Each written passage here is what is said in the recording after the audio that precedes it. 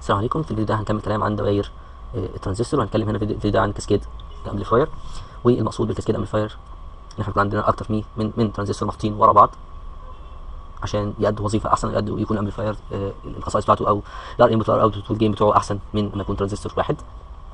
آه، قبل بس نبدا نبدأ طبعا هنحل مسائل بس مفيش حاجة جديده مفيش حاجة جديده خالص فهو مجرد حل مسائل فقبل ما نبدأ حل مسائل عايز أتكلم عن الموضوع ده. إحنا عندنا الدايره دي وحولناها لل AC model بتاعها. وحطينا جنبها بالتناظر معاها الموديل العام بتاع آه، أي amplifier اللي هو فيه ال R input وال R output وال gain وإحنا عشان نجيب ال R input قلنا إن ال R input هي المقاومة اللي بين النقطة اللي بعد ال VS وال ground اللي هي بين النقطتين دول. هي دي قلنا إن هي دي ال R input فبالتالي لو نيجي على الرسمة الثانية اللي هي رسمة ال AC model بتاع الترانزستور أو بالخصوص طبعا هنا في اللي هو ال beta IB هنلاقي إن المقاومة بين النقطة دي وبين ال ground هي نفسها المقاومه بين النقطة دي. النقطة دي هي نفسها النقطة دي. فبالتالي المقاومه بين النقطة دي وبين ال ground هي نفسها المقاومة بين النقطة دي وبين ال ground هي نفسها ال R input فبالتالي زي ما إحنا لو إحنا عايزين نحسب ال R input بنقول إن هي المقاومة بين النقطة دي وال ground فلو إحنا عايزين المقاومة لو إحنا عايزين أصلا المقاومة بين النقطة دي وبين ال ground هنقول إن هي بتساوي ال R input الكلام يبدو سخيفا بس هو هيتضح إن هو مش سخيفا قوي في آه، في- مع المثال يعني. فدلوقتي خلينا خلاص خلينا آه قبل قبل ما نروح المثال هو لو هنا في R signal وهنا اللي هو المقاومة الداخلية بتاعه ال source ده هيبقى ال R input هي ال- المقاومة اللي بين النقطة اللي بعد ال R signal ال R signal مش هتتحط. هنا ال R signal قبل النقطة دي وال R signal تمام؟ طيب. لحظة واحدة تمام. ده كده مثال موجود برضه في الكتاب عن cascade amplifier في هنا اثنين آه ترانزستور Q واحد و Q اثنين طب بدل بقى نرسم الدايره بره هقوم مشخبط هنا كده عشان نروح للموديل على طول. فمثلا نشخبط هنا بقى شيكة بس. وده هيبقى ground تمام؟ لو عايزين نشتغل في الموديل هنا مفيش capacitor وهنا مفيش capacitor تمام؟ مفيش capacitor ومفيش capacitor ومفيش capacitor فبالتالي المقاومه دي مبقتش موجوده مبقاش هنا في capacitor بقت دي مقاومه عادية ونفس الكلام هنا. مبقاش في capacitor دي بقت مقاومه عادية وبالتالي خلاص بقى ده short circuit مش حاسس انت هتشوهت بس مش مهم. هو كده المفروض أصلا بمرور الوقت نقدر نحل على الدايره على طول من غير ما نرسم الموديل أصلا بتاع إيه الترانزستور. طيب. إحنا عايزين ال input impedance وال overall voltage gain وعايز ال value of RL اللي هي المحطوطه هنا دي. so that the overall voltage gain is 800 طيب.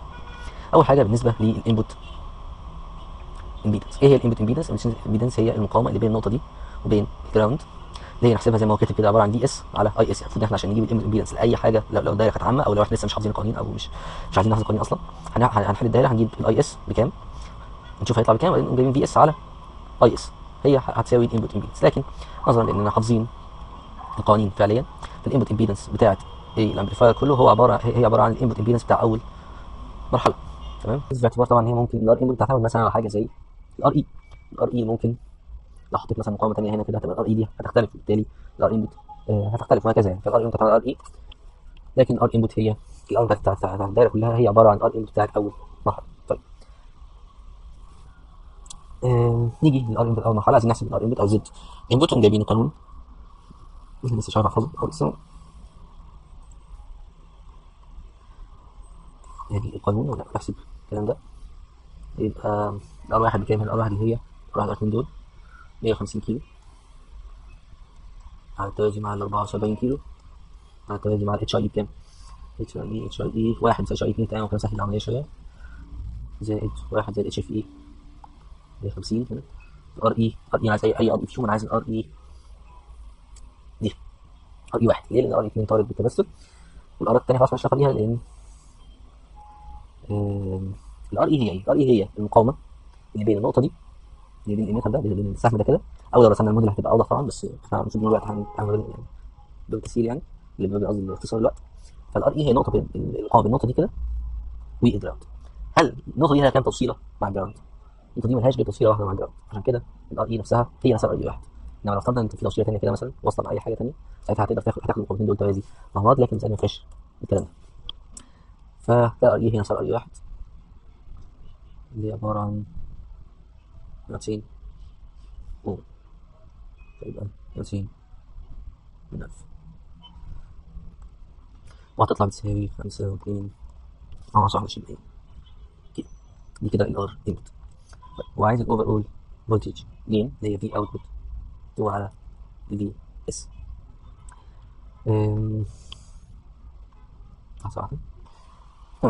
لو إحنا عندنا آه، الصورة العامة لل amplifier برضو.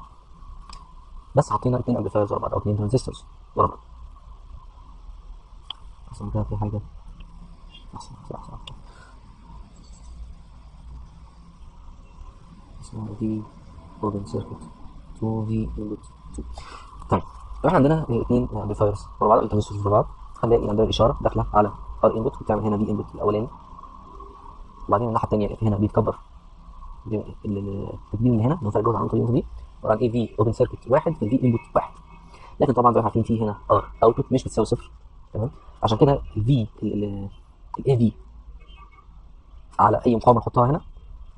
في المكان هنا بنحط R load زي ما شفنا في مثال في الفيديو اللي فات إن ال A V اللي اللي وإحنا حاطين load بيكون اصغر من ال A V وإحنا مش حاطين load ال A V open circuit وإحنا مش حاطين load فما بقاش في تيار. ماشي هنا فما فيش فرق جهد على ال R O دي لكن لما يكون في حاطين load هنا بيبقى في إيه؟ في ثانية غير ال A V أصغر منها عشان في R O المهم يعني إن الجهد اللي هنا عبارة عن A V O في V input بينما الجهد اللي هنا عبارة عن A V في V input A V بس مش V O عشان ال A V أقل من ال A V O ال A V هي اللي بتتكبر هنا. تمام؟ ال A V هي اللي بتتكبر هنا. ونتيجة لكده بتتكبر بأي معامل تكبير معامل تكبير A V open circuit 2 لكن برضه هنا في R output 2 فالنتيجه النهائيه بيحصل آه إن إن الفرق الجهد هنا بي- بيكون اتكبر عن فرق الجهد اللي هنا بمقدار A V2 في V input 2 مش بال A V open circuit 2 في input 2 بمعنى إن بصورة سريعة آه، ده بيتكبر هنا وبعدين يقل شوية هنا بعدين ده بيتكبر هنا ويقل شوية. بحيث ان ال overall gain أو ال A total بتساوي ال A V واحد في ال A V برضه دي تحت ليه؟ آه ليه؟ لأن ال A V واحد بتساوي ال V اللي هنا نسميه مثلا V A مثلا أو V V K مش عارف إيه V K اسمه تساوي V K على ال V signal تمام؟ وال A V 2 تساوي ال V output على ال V K لأن إيه؟ لأن لأن بقى بقينا بنعتبر إن الجزء ده هو ال signal المره دي يعني بالنسبة لل amplifier ده الجزء ده هو ال signal إنما بالنسبة لل amplifier ده ده هو مصدر ال signal بالنسبة لل amplifier ده ال- الإشارة دي هي مصدر ال signal ومعاها طبعا R signal بتاعتها اللي إحنا مطلعينها مطلعينها بصفر. لكن بالنسبة لل amplifier ده ده هو مصدر ال signal اللي هو الناتج عن ال amplifier اللي قبله عشان كده بيحصل عشان كده اسمه cas- cascade لوحده مع بعض. فلو ضربت ال A V 1 ال A V 2 تلاقي V K على V S في output على V K الاثنين دول هيطيروا مع بعض وهتيجي النهاية. V output على V S بالتالي ده اللي إحنا عايزينه. إحنا عايزين V output هنا على ال V S الأولانية فبتساوي الكلام ده. مما يعني يعني إحنا عشان نوصل لنتيجة دقيقة. لو إحنا فاكرين الفيديو اللي فات كنا اتكلمنا إن لو حطينا هنا مثلا R load ايا كان نقدر نحسب ال A V بطريقتين. طبعا هنا في طبعا كده. الطريقة الأولى إن إحنا نحسب ال A V open circuit بالقانون ده. وبعدين نعمل voltage divider زي ما قلنا في الفيديو اللي فات. والطريقة الثانية اننا بدل ال A V open circuit ومحاسبين ال A V بس كده على طول وبدل ال R C نخليها R C effective تمام؟ السؤال effective هي عبارة عن R C parallel مع ال R load الطريقتين هيجيبوا لنا نفس النتيجة. طيب بالنسبة لل common collector أو ال emitter follower نفس الفكرة. ممكن. طبعا ده بيعتمد هنا على ال R E لو إحنا حطينا نحط ال load هنا. R load كده. ممكن. نحسب ال A V open circuit وساعتها ما نحطش effective هنا في القانون ونحسبها وبعدين نعمل voltage divider بين ال R load وال R out لأن هنحسبها هنضطر نحسبها الأول من هنا وبعدين نعمل voltage divider أو الاسهل إن إحنا جايبين A V بس من غير ال open circuit نحط ال R E effective وساعتها هيبقى الاثنين دول ناخدهم توازي مع بعض آه، وخلاص. فبالتالي هي دي نفس الفكرة. آه، يعني دي, الطرق المختلفة اللي نجيب بيها ال A V سواء جبنا ال A V open circuit الأول أو جبنا ال A V على طول. تمام. نسيت إحنا بنتكلم فيه أصلا آه فبالتالي إحنا عايزين نجيب بقى ال overall voltage gain من الدايرة دي. فعشان نجيب ال overall هنجيب ال overall هنجيب ال voltage gain بتاع الدايرة. الأولى وال overall قصدي ال voltage gain بتاع الدايرة. الثانية تمام الدايرة الأولى دي عبارة عن إحنا عارفين output هنا. بالتالي دي عبارة عن common emitter. رايحين على القانون بتاع common emitter. نتكلم على طول. طب ما نجيبش ال A V open circuit نجيب ال A V على طول. ده باختصار. القانون هو. ده. خلاص اتش اف اي الاتش اف اي ب 50 H I E عارفينها. ب 1 كيلو. 1 H F E و R E ال R E برضه عارفينها. ال R E هي المقاومة بين النقطه دي وبين ال ground دي مفيش أي فروع. لكن الفرق الفرق اللي هنلاقيه موجود بوضوح هو ال R C R C effective إيه هي تعريف ال R C R C هي المقاومة بين النقطه دي بين ال ground وهنا هيظهر قيمة الحاجة اللي قلناها في أول فيديو عايزين المقاومه اللي بين النقطة دي؟ وال ground طب المقاومه دي وال ground ليها كام فرع؟ ليها فرعين. ده هو الفرع الأول وده هو الفرع الثاني فبالتالي إحنا عايزين آه نحسب بقى. إحنا معانا R C واحد معانا. إحنا عايزين نحسب المقاومه اللي بين النقطة دي وال ground تمام؟ يعني عشان يعني هفترض إن دي موجودة معانا وخلاص عايزين الجزء الباقي اللي هو بينتج عن كل العبكة اللي هنا دي كده. وهنا آه، دي الحاجة اللي بتقصدها في أول الفيديو. المقاومه بين النقطة دي وال ground حيث هنا في voltage معين اللي هو V output الأولاني. بين النقطه دي وال ground هي نفسها ال R input بتاع الترانزستور. الثاني وده اللي أنا كنت أقصده فبالتالي إحنا عشان نحسب قيمة المقاومه اللي بين النقطة دي وال ground بسبب العبكه دي. آه، عشان ناخدها بعد كده بعد ما نجيبها هتطلع لنا مقاومه ثانية كده ومكافاه لكل الكلام ده أو ناتجة عن كل الكلام ده. آه، ناخدها على توازي مع ال RC واحد عشان يجيبنا يبقى جبنا قيمة المقاومه من كل كل طرق. كل كل طريق يزيد كل ما فيه مقاومه توازي هتزيد. لو عندنا طريق تاني كده هيبقى فيه مقاومه توازي كمان. لو طريق تاني كده فيه مقاومه توازي كمان. عندنا طريقين فعايزين مقاومتين المقاومه دي والمقاومه اللي ناتجه عن بقيه الحاجات دي طيب المقاومه اللي بقيه الحاجات دي هي نفسها ال R input بتاعت بتاعت الترانزستور الثاني والثاني نجيب R input 2 مش كل ده عشان نجيب RC effective ال R input 2 بتساوي ما للاسف كنت شلت ال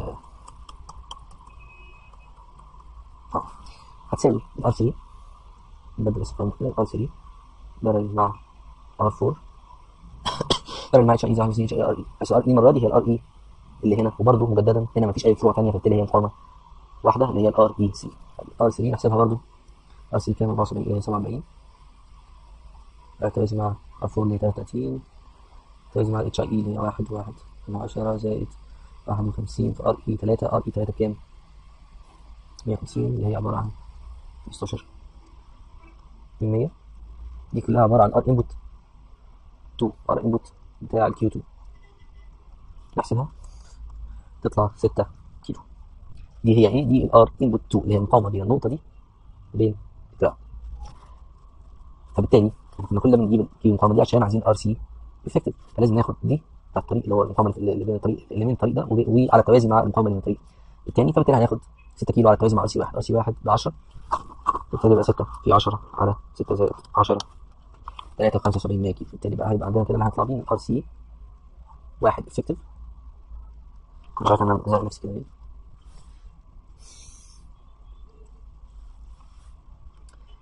RC 1 effective 3 75 RC 1 3 75 كده effective كيلو تمام.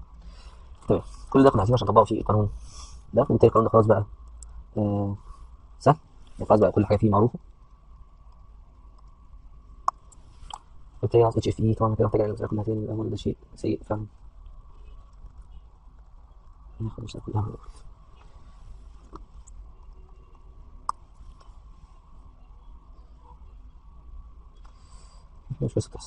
في حاجة مش كويسة بتحصل ال gain الأولاني AV واحد هيساوي ناقص اتش اف اي اتش اف اي 50 ناقص 50 في 3 75 من 100 كيلو. اتش اي واحد واحد من 10 زائد 51 في ار اي ار اي اللي هي ار اي انهي واحدة فيهم اللي هي ار اي واحد ار اي واحد ار اي واحد 9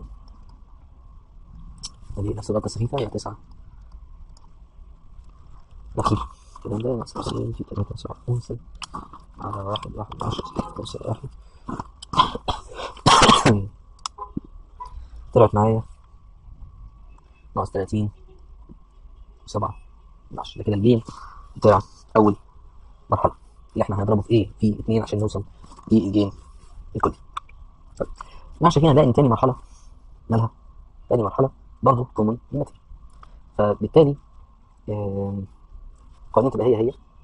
ال R input إحنا معانا ال R input بس مش عايزينها في حاجة. يعني مش عايزين ال R input ك R input إحنا عاوزناها عشان نجيب منها ال RC واحد effective تمام؟ طيب ال A بتاع المرحلة الثانية هيبقى نفس القانون ده بس باستثناء إن ال RC 1 effective هتبقى RC 2 effective وال RC 2 effective عبارة عندنا برضه طريقين.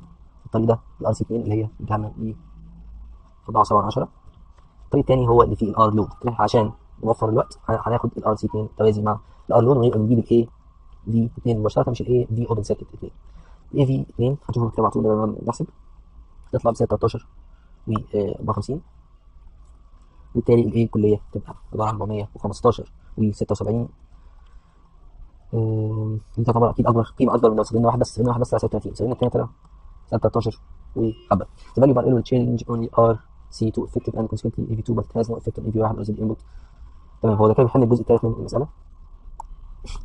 مثال تقول the value bar L that the overall gain is 800 آم، هو بيحل الموضوع بيقول ان أنت مهما غيرت ال R load مهما غيرت ال R load مش هتأثر على ال AV 1 ال AV 1 دي مش بتعتمد على ال R load ليه؟ لأن ال AV 1 بتعتمد على ال RC effective اللي بتعتمد على دي بتعتمد على المقاومه اللي هي Z input دي. ال Z input دي مش بتعتمد على ال R load Z input بتاعت المرحلة الثانية مش بتعتمد على ال R load وبالتالي ال AV 1 مش بتعتمد على ال R load فبالتالي ال R load بتاثر في ال AV 2 بس فبالتالي لو إحنا عايزينه بدل ال gain ما يبقى 415 عايزينه 800 ساعتها ال R load لازم تكون 150 كيلو بدل ال R load هنا كام؟ هو ده ال R load ولا ال R load؟